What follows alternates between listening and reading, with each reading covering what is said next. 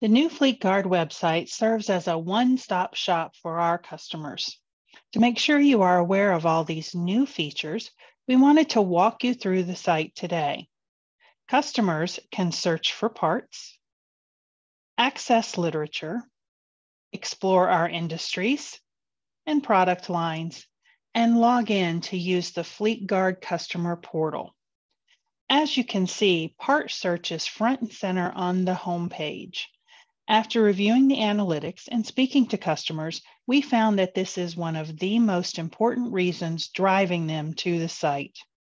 Users can search by part number, cross-reference, keyword, equipment make and model, or even attribute. Once they find the part they're looking for, they can save it to a list and even email that list to themselves or others. Depending on their access level, logged in Fleetguard portal users can view pricing information and add this part to their cart.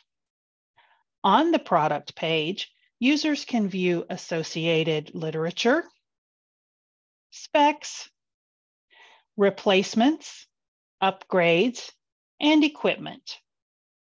Dealers often want to stay up to date on the latest product releases for their region. To do so, they can view the new products page. Users can sort by the last three months, last six months, or even a year.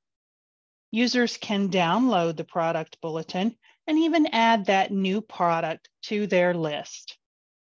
They can also subscribe to the new product bulletin to have the latest products emailed to them monthly. Users can also view a list of obsolete parts.